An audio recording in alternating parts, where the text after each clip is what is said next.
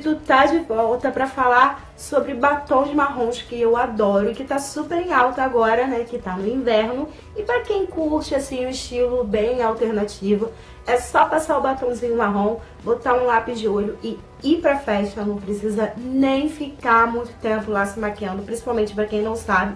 E o legal é que vai deixar o visual bem, bem moderno e bem alternativo. Então vou mostrar pra vocês agora quais são os batons baratinhos que eu uso marrom e que eu tenho certeza que vocês vão adorar. Simbora! Eu tenho quatro batons super baratinhos marrons, cada um de uma tonalidade e todos eles eu gosto. Eu sou apaixonada por batom marrom, batom escuro, eu amo batom escuro. O primeiro que eu vou falar pra vocês é esse aqui da Vivai. Eu já falei sobre esse batom aqui antes, olha como é que ele é, textura da Vivai. Ele é um batom muito bonito, ó. E custa em torno de 5 reais. Olha que linda que é a base dele. A cor dele é o número 25 da Vivai. Será que dá pra ver? E é lindo, lindo, lindo. Agora eu vou passar ele na boca pra mostrar pra vocês como é que ele é. Ele fica assim na boca, ó. E eu gosto muito desse tom, é um tom que não é tão escuro, ao mesmo tempo não é tão claro, fica aí no meio termo. E ele é cremoso, tá meninas? Ele tem um pouquinho de brilho, mas ele não é cintilante. Mas ele, por ser cremoso, ele acaba dando o brilho por causa da manteiga de karité, tá? Ele tem manteiga de karité, então deixa o lábio super hidratado e por 5 reais. Bem mais barato que a própria manteiga de karité. Então, tá aí o resultado.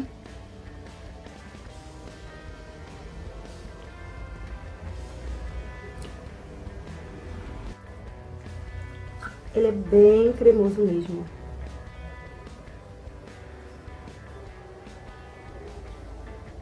Agora a gente vai falar de um também que é da Vivai, mas ele é um pouco diferente, é o Vivai Glamour. Também, a embalagem é linda e esse aqui foi 6 reais, tá? Ele é lindo. Esse é o número 4. E o tomzinho dele, embora aqui pareça mais escuro, eu acho ele um marrom um pouco mais claro. Em comparação a esse aqui que eu passei. Vou mostrar agora pra vocês aqui. Tá vendo? Eu acho ele um pouquinho mais claro, mas também com uma tonalidade ainda escura. E agora eu vou mostrar como é que fica na boca pra vocês esse batom. Apesar dele ser marrom, ele tem essa tonalidade voltada assim pro marrom terra, meio vinho, meio avermelhado. E ele também é cremoso.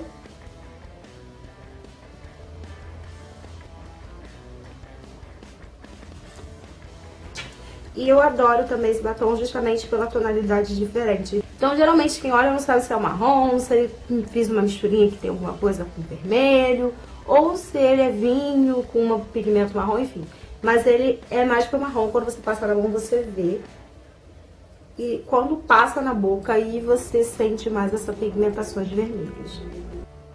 Outro que eu também adoro é esse aqui da Aqualips.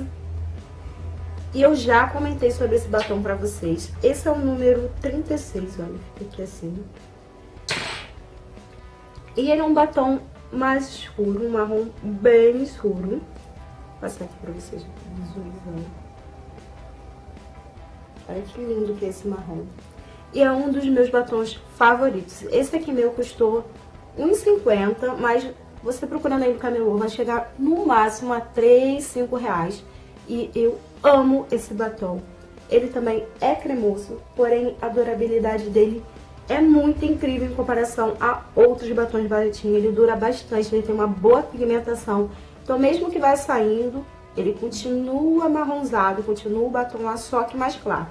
Então vou mostrar agora pra vocês.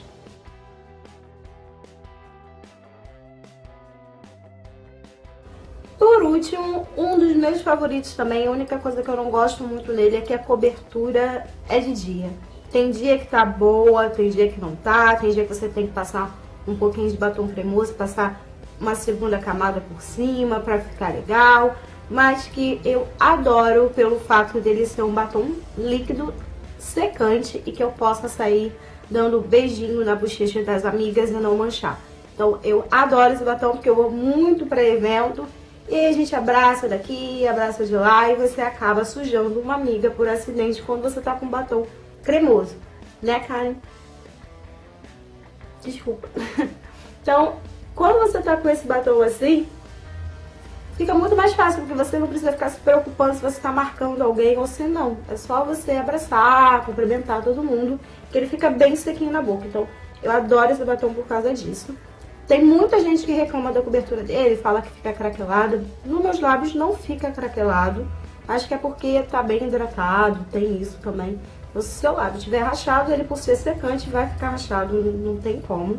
Tá? Então, primeiro cuida das rachaduras, do ressecamento dos lábios. Então, vou aplicar agora mais uma vez o último batom para vocês verem como é que ele fica na boca. Então tá aí o resultado final, um batom bem escuro marrom, esse é o meu favorito dos batons marrons. Eu geralmente passo uma camada do outro, tá, daquele Aqualips, e depois passo esse, mas hoje eu passei só ele direto pra vocês visualizarem bem que a cobertura dele não é perfeita, por isso que eu passo com o Aqualips. Vou mostrar na mão como é que fica, ó. Tá, é um pouquinho mais escuro que o Aqualips. É quase parecido, dá pra ver quase igual. É um tomzinho, um tomzinho só de diferença. Então, tá aí o resultado do Pro.